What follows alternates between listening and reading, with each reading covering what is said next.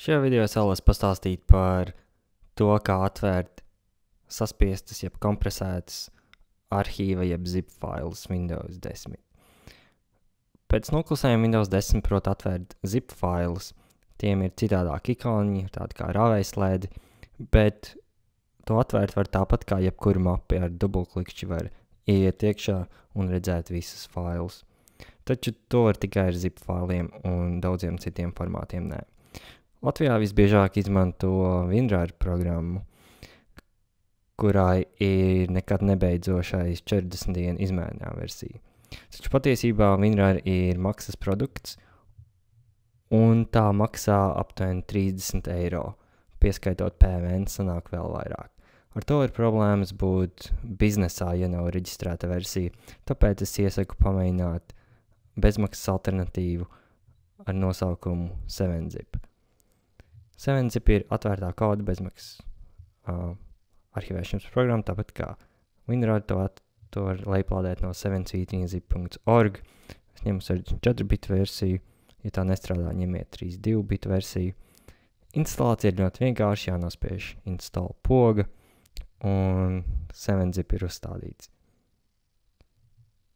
Taču pēc instalācijas nekas īsti nemainās. Uh, jo zip failu joprojām var atvērt Windows Explorerī.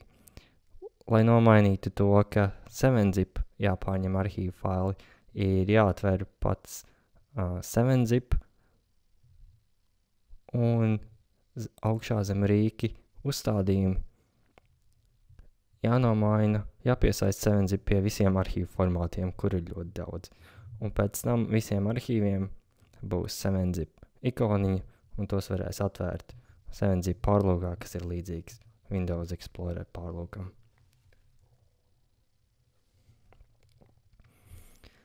Vēl man patīk nokonfigurēt 7G tā, lai 7G izvēles vietā viss būtu uzreiz pieejams pie labā peles klikšķa. Un to var izdarīt turpat uzstādījumies 7G cilnē.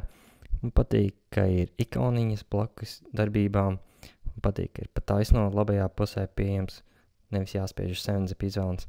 E-pastu sūtīt, saspiest un sūtīt pēpes nekad neizmantoju. Un tagad izvēle izskatās aptuveni šādi. Es varu ļoti ātri izvilkt vai atvērt arhīvu.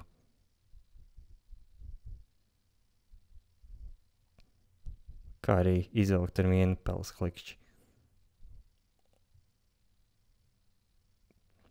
Var arī apskatīt, atvērt arhīvu, jebkuru failu, teiksim, exe failu, dažreiz ir uh, arhīvu faili, kā šajā gadījumā pati 7zip instalācija ir arhīvu fails, un tādā veidā var paskatīties, kas lāc citiem vēderā. Izveidot arhīvu ir tikpat vienkārši, vienkārši labo pogu ielikt arhīvā, bet jāpievērš uzmanība, ka arhīvu formācija ir uh, zip fails, ko varēs atvērt gan WinRAR, gan WinZip, gan jebkurš cits, gan Windows 10. 7zip formātu varēs atvērt gan 7zip, gan WinRARs, bet uh, daudz citas programmas iespējams nē. Tāpēc vislabāk drošības nolūkos izvēlēties zip.